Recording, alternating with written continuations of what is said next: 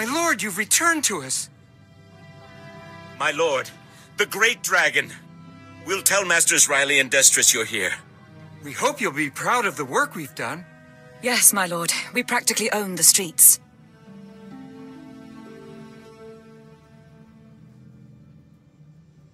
My lord, good to see you again. Hope you like what we've done with the place. What can old Riley and Destris do for you? I'm trying to build a super weapon, and I require your aid.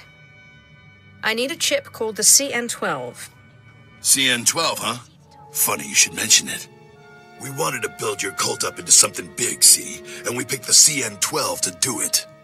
It's a real crazy technology, and it just happens some of the members worked on an early prototype called the Death Mark. We saw an opening, and there you have it. It was all dandy until a mucker called the Veil got involved. He's blasted our supply chain to pieces, and he controls the CN-12 market now. No one interferes with my cult. Well, maybe you can teach him a lesson. We're sore out of luck. He's not easy to get at. Holes up in Shadow Town. And he made it clear he only wants to meet with the boss. We, uh, didn't think that was really an option. For the leader of this cult, I certainly am kept in the dark on a lot of things. I'm sorry, my lord. We won't let it happen again. Good luck.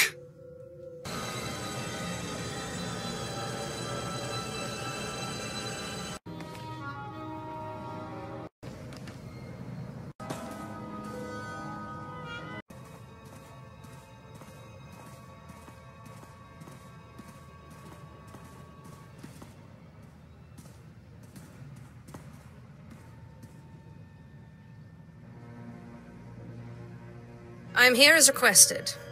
Which one of you is the Veil? I am the Veil. No, I am the Veil. No, it is me. I am the Veil.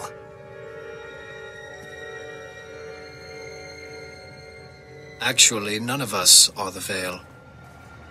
Because all of us are the Veil. Still, we are all very glad to make your acquaintance, Cult Master. I have a notorious reputation, especially when people steal from me. Ah, you speak of the CN-12. Everyone wants the CN-12. But few are willing to pay the price. The streets of Nar Shaddaa only have room for one true voice. Give us control of your cult, and we will give you the CN-12. I could just kill you one at a time, until one of you agrees to give me the CN-12. Hear us out. The lowlifes that run your cult are brutal enough, but they lack vision. Why settle for a cult when you can have an empire? Our resources extend beyond the CN-12. Armies need weapons, ships need engines. What does your cult provide you now? Donations? Artifacts? We offer that and more. Our reach extends across the galaxy. Simply send a signal from one of these devices, and our servants will come to your aid anywhere in the galaxy, not just on Nar Shaddaa. You will give me the CN-12, and you will serve me. We will give you the CN-12. We will serve you. Please, let us join your cult. I don't let people join for free. Of course, my lord. Here is the CN-12. We assure you, you will not regret this.